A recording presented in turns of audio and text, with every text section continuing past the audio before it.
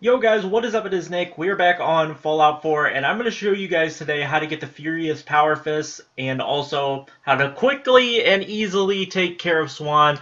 Um, I have a unique weapon uh, called the Spray and Pray. I don't really have a guide to get it, um, but this thing is OP.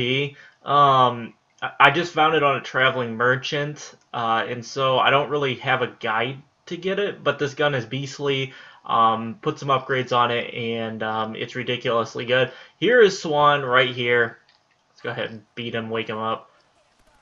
But look at this thing just wreck, and I can't aim, or I would have done a whole lot more damage.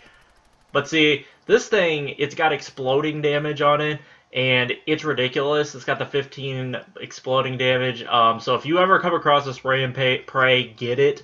It's amazing. Uh, you get some decent stuff on him. Uh, nothing amazing. The Deathclaw hide is pretty good.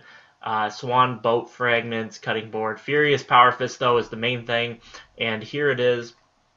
Obviously a melee weapon, uh, but increased damage after each consecutive hit on the same target. So it's good for fighting um, enemies with a lot of health, uh, Deathclaws, uh, Super Mutant Behemoths, super certain Super Mutants, uh, Brotherhood of Steel, I guess, if you're fighting them, um, but just different stuff like that.